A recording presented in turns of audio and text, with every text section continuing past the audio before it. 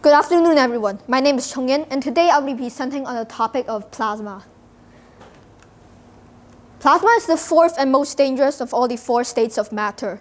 You can get it by heating up gas to around 10,000 degrees or so.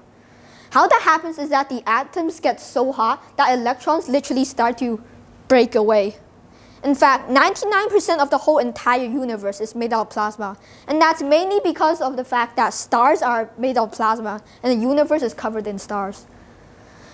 Although that is true, the Earth doesn't really have much plasma in it, but there are some common uses of plasma, such as fluorescent light bulbs. Plasma can also be naturally found in the as a form of lightning. Wait, oh yeah. This is my bibliography, and this is the end of my presentation.